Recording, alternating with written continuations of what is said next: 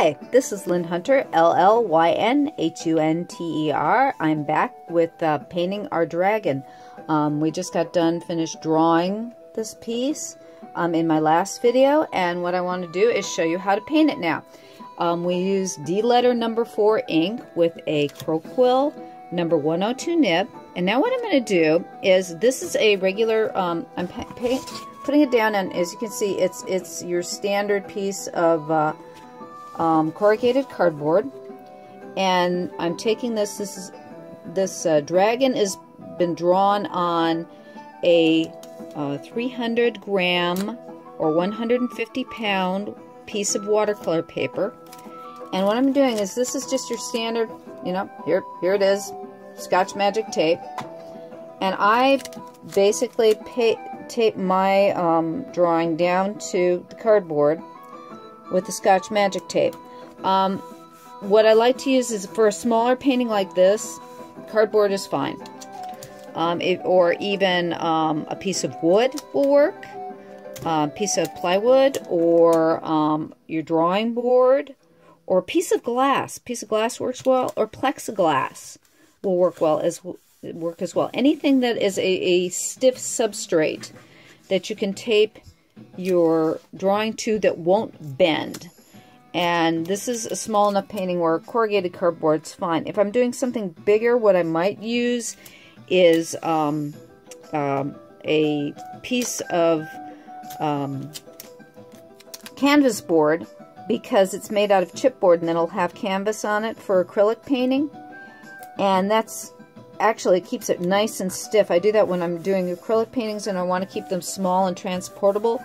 I will tape them to the back side of a canvas board just because it's easy for transport and I can put it away, away at night and that sort of thing. So like if I'm going to take more than uh, a day to do it and I don't want to leave it out on my drawing table, then I can just, you know, put it away in a portfolio or something after the fact before I take it off. But as you can see, this is just standard Scotch Magic tape and I like it because it's waterproof um, and it uh, peels up very easily. It It's like masking tape when it peels up. If you very carefully peel it up, you don't have to worry about it tearing your paper and it has it sticks down nicer and if for some reason you're taking your paint and you're going across it won't bleed under the tape whereas occasionally if you're using masking tape um, I don't care what. Watercolor has got more water in it than most paints. So the water will bleed underneath, whereas if you're using Scotch Magic Tape, the water is not as likely to bleed under. Okay, now, on this particular piece, I'm going to do a technique that I like to do for um, shading underneath. I am a very big fan of burnt sienna. Um, I like to take burnt sienna and I will tint my drawings underneath with burnt sienna to um, set up my shadows and give volume. It'll give volume and depth and it's the first thing I like to put and, it's not on every painting but on the, this particular painting and a lot of my paintings I like to use burnt sienna as my undercolor um, sometimes I'll use raw umber. Um, I like to use some kind of earth tone um, as an underpainting to indicate um, shadow and turn the form first. Because what, with watercolor, you're always thinking about um, the next color that's going on top because your colors will mix together to form new colors. And the thing is, is you can use, by using just a few colors, you can get thousands of colors. And that's one of the things I love about watercolors, that you don't have to think too much about the colors that you're going to get next or how you're going to get a lot of value or color because um, the watercolor paints the additional colors by blending the colors together in ways that you didn't necessarily intend but that just come out nicely. And when you've painted in watercolor for a while and you get used to um, getting a feel for what colors work well blending together, um, you'll have your own favorite palette. Everybody's got their, their, their favorite palette of colors that they like to use and their favorite colors they like to buy. And that's part of your style too. Is if you if you're a watercolor painter or if you're any painter actually, they're they're everybody's got their own palette that they keep like falling back on. And sometimes you switch it up and and sometimes you make different choices.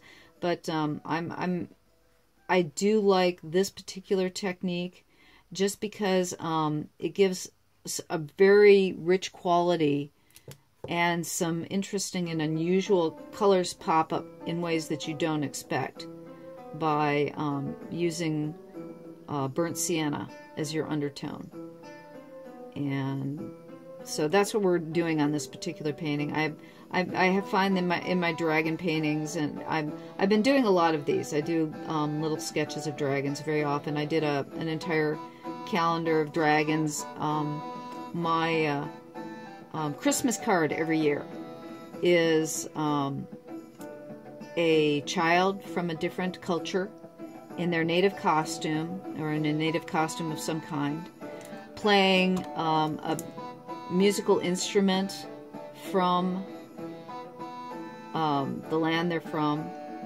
and um, enchanting a dragon. That's been my um, my uh, go-to design for Christmas cards or holiday cards for about 20 years now. Um, I've been I've been doing Christmas cards, Lord, for a long, long time. I, I, it's one of these things, especially nowadays. Printing is so cheap um, it gets it's an expensive way to give gifts every year, but I figure um, with my friends, everybody deserves a, a, you know a nice piece of of junk mail once a year. That's uh, technically they're limited editions because I, I, run a, I usually print up about a thousand and I send them out to friends. If you are one of my patrons, um, my my patron uh, site the minimum is uh, uh twelve dollars a year. Everybody gets one of my Christmas cards. Um, I do something special for my patrons every year. And uh, I give out um, digital downloads. I usually give out at least um, four or five digital downloads a month of a variety of things. Um, the, if you, I give the tutorials come out first to my patrons. I have a comic book that I do once a week. I do one comic book page a week, and um, all my patrons get it a week ahead of time. So if you're you're you care to support me and and keep me going, I would really appreciate you joining my Patreon because I, I, I consider it my club of friends. Um, you, you know, it's it's like it's literally modern patrons and it's it's very fun. Okay, so we've got the base color down for the dragon. Now I'm going to paint the sky. Um, it's going to be a blue sky. Gee whiz. Tough choice there. Um, but how I paint it, I think I'm going to do... Okay, this is going to be um, Prussian blue. My, one of my go-to blues. Prussian blue is a nice turquoise blue. And I will... I'm going to change brushes. This is a zero. This is a zero Winsor Newton Series 7. I live with um, Winsor Newton is always my favorite brushes. Um, I would highly recommend this is going to be, um, this is actually a Loew-Cornell, just because it happened to be available. And I'm going to use that for painting the sky, just because I need a bigger brush. There we go. Now I heavied that up, I dropped a little bit too much water, or too much uh, paint in there, so I'm just, I'm, drop, I'm dropping just clear water on top of where I dropped the paint to um, get it a little bit thinner because it went down a little bit thicker than I wanted it to, or a little bit too heavy. And Prussian blue has got more dye in it than pigment. So if you if you're using cobalt or ultramarine, both of those those colors will have more pigment in them. So if you want um, that grainy texture um, and foxing that you get with um, um a little bit more um, pigment in your brush. I've got a few little crumbs of the eraser from my... Now, I let a little bit of too much paint there and just adding a little bit of water. Now, the thing is, is that with watercolor, um, I never count on a perfectly, um, how shall I say, um, solid color. I'm always expecting that I'm going to have puddles of dark and light, and I will do several things to adjust that because sometimes your watercolor will pull in ways you don't want it to pull and it'll leave a big blob of color in an area that you didn't want a big blob of color in. And so um, I'll show you what to do with that if I, I end up with one of those on this. But right now what I'm doing is I'm taking areas. What you want to do is look for areas and you want to pull those particular areas and keep them moving. Because when the watercolor dries, you'll get a hard edge. And in order to keep from getting a hard edge around here, what I'll do is you keep the watercolor moving so that that edge is never quite dry. It always stays a little wet. So even though I'm working over here, I'm keeping an eye on that little place over there and the best way, if you want to keep areas like a uniform color, is make sure you break them up with a lot of other areas. So it's like if you have a really large area that you're going to paint one color, um, it's like hold your breath because you want to keep that edge going. You want to keep this water edge going to keep it from um, getting a solid line where the paint will dry. Now you see I, I got a little bit too much paint, like right there. So I'm easing in a little extra water. And I'm going to scumble that. There's pigment in there. And in order to keep it more even, I'm scumbling it around within the water so that, that the pigment doesn't all lay in one place. And like here, I didn't get enough pigment in there, so I need to get a little bit more pigment in there. And up here. And because that area is still wet, that, that pigment will, will blend into those wet areas. And this is all stuff that, you know, it's like, okay, how do you know all this stuff? And it's not things that you have to, you know, I'm telling you this stuff and you don't have to memorize it. It's stuff you'll learn while you're painting. While you're painting, you'll go, oh yeah, Llyn said something like that. Now I remember. Um, just try to not worry about making the mistakes. And when you're doing pieces, um, the, the toughest thing that you can possibly do, or the, the thing that you need to do more than anything else, is learn not to make any piece that you do precious. Um, realize that there is going to be, you're going to make mistakes, and the most important thing for any watercolor artist to learn is how to fix your mistakes. Um, and, you know, it, I don't make as many as I used to. I still make a lot of them, but not as many as I used to just because I've kind of figured out how to fix them. Either that or it's as you do more and more watercolor paintings, you just, you know, let's face it, practice does help make perfect. Um, so it's like, you know, if I'm making it look easy, it's because I've done a lot of these. I mean, I've been painting for Oh, geez, I don't even want to think about how many years I've been painting. Um, but I don't paint every day. Um, I try to paint as often as I possibly can just because I love it. I mean, the, the, the best thing that you can possibly do, um, as far as I'm concerned, is to make the thing you love to do your job. Um, there are a lot of people who say, you know, want to kill the thing that you love, make it your job. Um, and that's po possibly part of it too. But um, I just I, I've always loved drawing and painting, and I've been very fortunate enough to be able to be. I've always had work that um, basically entailed drawing and painting and designing and creating. So I've been. It's a combination of being very fortunate. All art is luck. I don't care what anybody says being able to do um, art for a living is a combination of luck and hard work. And you can't be able to get to do it without both. Um, I think that you can't you've got to have the luck, but you also have to have the hard work. You can't have one without the other. But anyways, so you can tell slowly getting getting the uh, all the the blue put in. And you can tell I'm really scumbling each area to give more of a uniform blue. Um, what I like to do too is like after I lay, lay this in,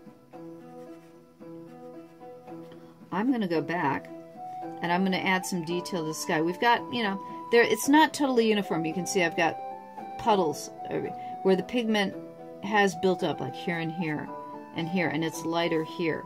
Um, it's foxing right there. Okay, I'm going to let that sit for a bit. I'm going to go back into the dragon and we're going to come back and do some detail in the sky a little later. But right now I'm going to go into his wings a little bit. And let's see here. What color do I want to do with those wings? Hmm. Decisions, decisions. I think we're going to make him purple and green. Now, purple is a really tough color to play with because it's real easy to get real dark real fast. Because um, purple is almost, when you're thinking in your values in watercolor, it's almost like using black. So you want to be very, very light with your purple. Um, this is literally violet. And I'm going to throw, I think, just a hint of alizarin crimson in there. Alizarin crimson is my go-to blue-red. Whenever you, my watercolor, there, that's really nice. Um, whenever you set up watercolors, or when I set up my watercolor palette, you have your color wheel of six colors. Um, your primary colors are red, yellow, and blue. Your secondary colors are green, orange, and violet. Now, what you want to have, especially in your primaries, is you have usually a warm and cool warm and cool yellow, a warm and cool red, and a warm and cool blue. Um, I have usually um, I use a cad yellow because I, I really don't like lemon yellows. I don't like the blue yellows. I my my yellows tend to lean everything that I when I do warms I do very warm warms. There. Oh, that's looking nice. That's uh, and here's the alizarin. That's good. What's getting that really nice, um, almost burgundy color in the wingtips, and I'm putting just a little bit of violet, lightly violet, more of a so this more of the blue is up at the top here. So I'm, I'm giving, so right there you see I put way too much purple down. That's way too much purple. That's why I said it was warning about, you know, when you're wor working with a violet. I'm sorry. It is violet. I just like to use the word purple. Grew up with, you know, grapes. Eh, cat hair. By the way, I have a cat. If you have a cat, you will get cat hair in your paintings. It's unavoidable. You just pick them out. It works. Trust me. They're annoying. But let me put it this way. I don't want to get rid of the cat. Love the cat. Don't want to get rid of the cat. I put up with cat hair. Okay. So like I said, you got to be really careful with the purple because it gets dark really fast.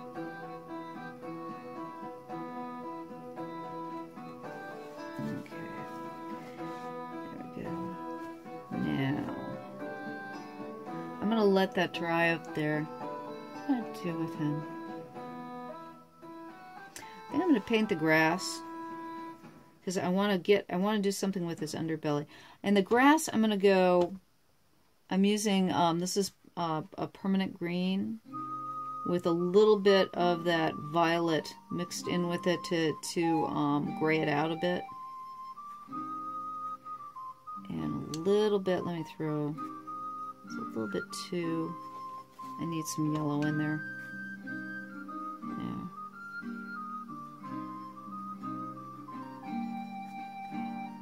This is permanent green light. And I'm throwing just a little bit of cad over the top to give it, you know, to crimson to um, chartreuse it up.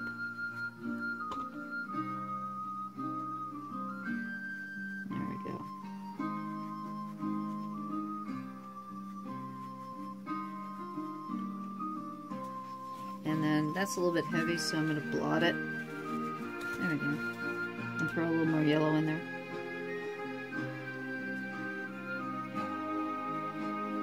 There we go. So That's the thing. If you find that you've gotten too heavy in an area, don't be afraid to go in with a paper towel, pull it away. Because you can always go back in. It's, it's, if you, like, you know, you just looked, I, I went dark and then I went light and then I went dark again and going, yeah. Try, trying to figure out where, what colors you want where sometimes is a little bit difficult. Okay, and I'm going to give them sit on a gray rock some gray in here.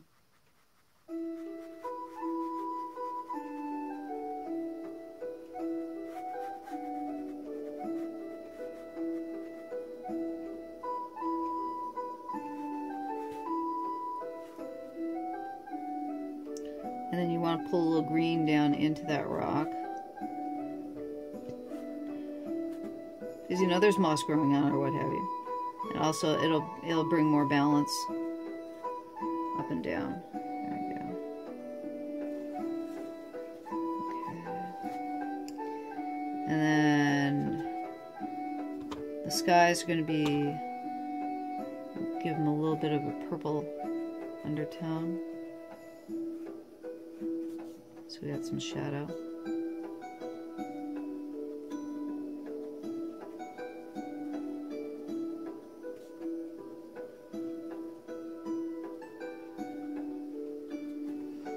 Now, I was talking about the sky. Now that now that it's dry, you can tell the, the blue in there is dry.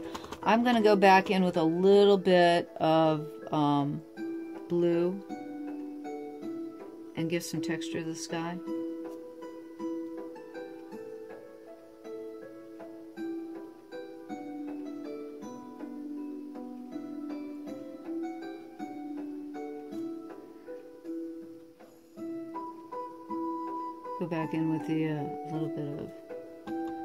Gray and just gray just to give some texture to the sky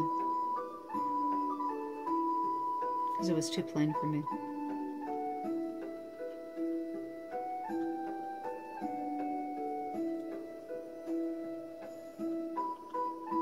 And what I'm doing here, it's it's just a little bit of Payne's gray and water. to add some texture.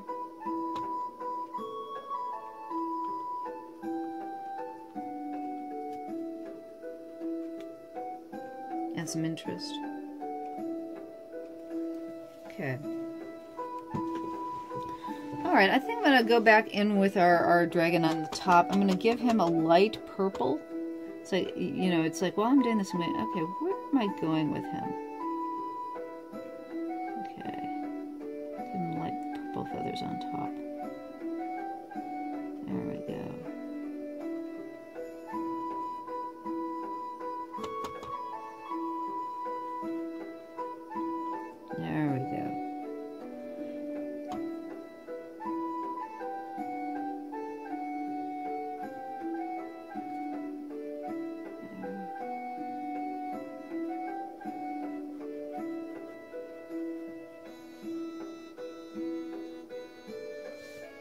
Bleeding a little bit there, so I'm going to blot it a little bit.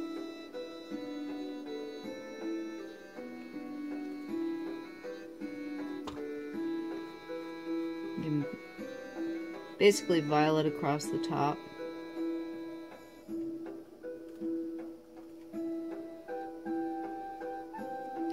Now again, I got two, see how fast that purple just, damn sometimes just annoying the way it can go a little bit too much. But then, like I said, blot it out if it's just going too much. And that's also the advantage of using good watercolor paper.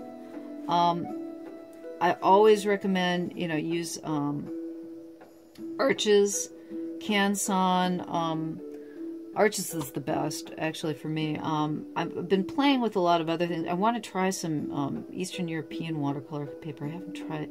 I've seen some of the, the paintings that come out of, like, Romania, what have you, and I really want to get some Eastern Bloc watercolor paper because um, I just, the, the watercolors they do look different, and I know it's the paper. It's got to be the paper.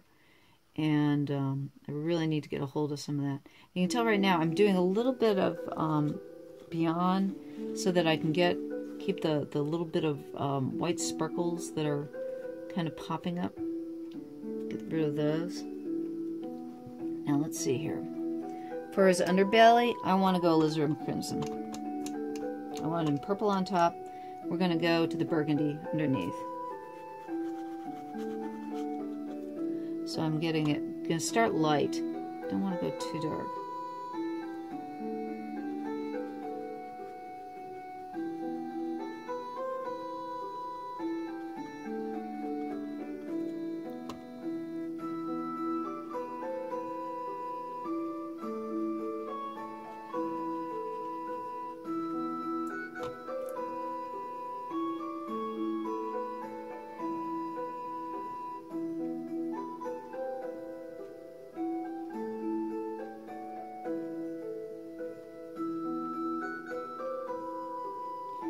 Got a little bit of blue there on his chest. So I'm going to scumble it out. I'm just rubbing that out. So it kind of goes away.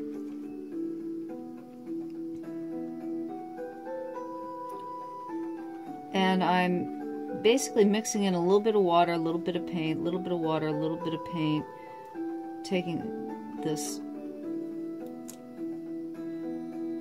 up and down in value because you don't going too heavy. I got my wrong brush. There, I'm going back to a zero.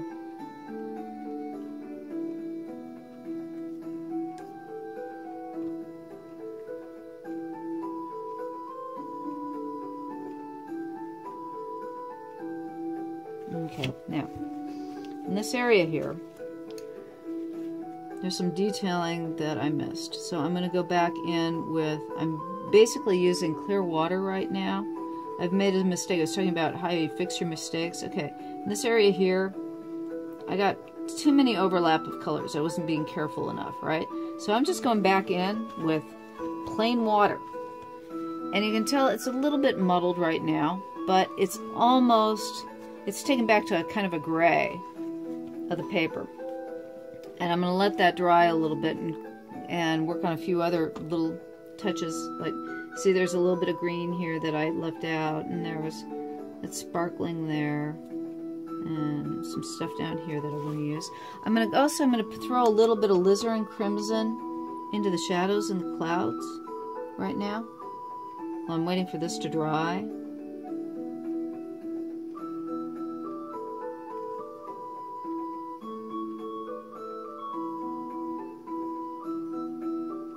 And I'm going to throw a little purple in there too. Just a little bit of violet.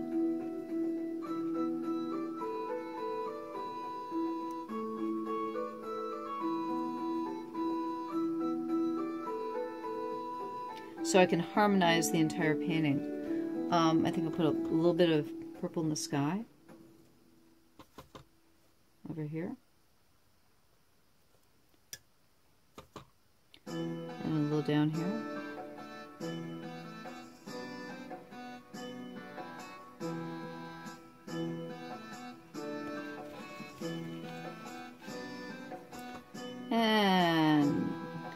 Purple shadows too when we get done here.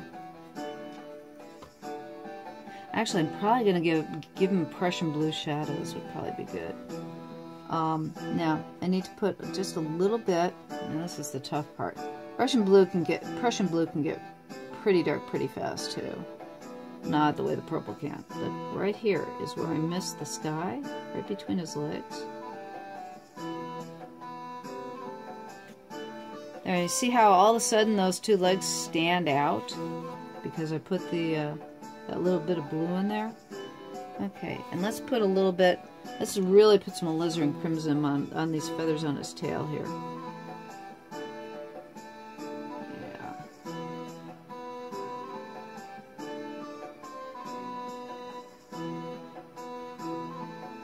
Yeah, yeah that's nice. And the thing is, is that a lot of times when I'm painting, it's like, I'm, I'm not sure what I'm going to do before I start or how I'm, I'm going to paint. It's a mystery to me as much as it is to you when I start. You know, it's like, is this going to be a purple dragon or a red dragon or a green dragon?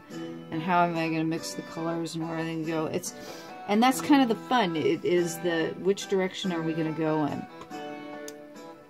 And as you build up, you know, it's, it's like, and you add on, it's the puzzle and the idea of where are you going to go with this painting. And you get to play God. You get to make the choices. You get to say, this is my creation, this is my, my painting, this is my idea, and I get to say what this dragon is going to look like in the end, and who he is, and what his origin story is.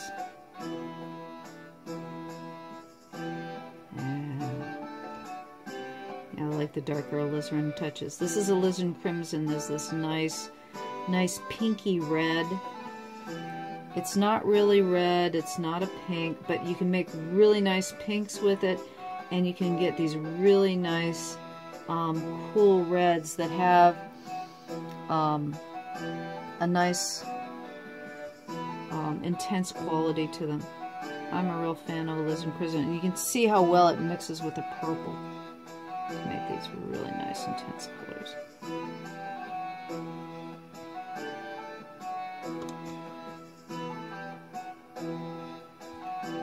Okay. The last thing I'm going to do with this boy is I'm going to give him some blue shadows.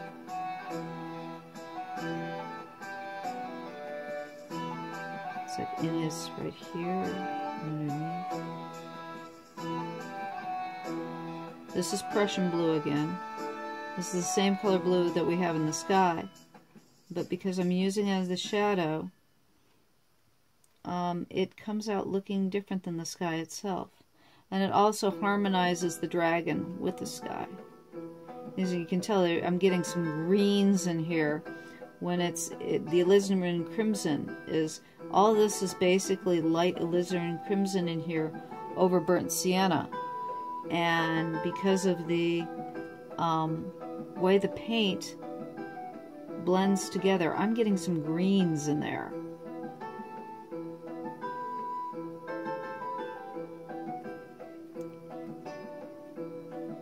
I'm going to give him a blue eye. There we go. It's amazing what the little touches you do in the end piece to jump out. And again, I used um, um, Deleter number four is the ink that I used as the basis for the drawing. And you can tell it's really holding up nicely against the watercolor. I don't have to really, I might go over the outline a little bit when we're done um, after the painting's fully dry, but I probably won't have to and that's the thing with Deleter. It it it's really nice. I, I personally really love the ink. The Japanese have come up with a really good ink. And you see, I'm I'm using the um, Prussian blue now for the shadows under his feet.